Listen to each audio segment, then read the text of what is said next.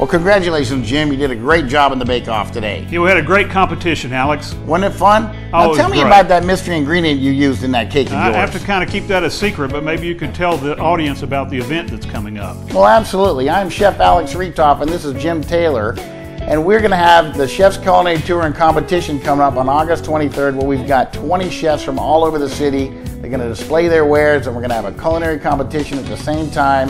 You don't want to miss it. What do you think? I think so. It's good eats, great cause, Alex. And it's all about the children.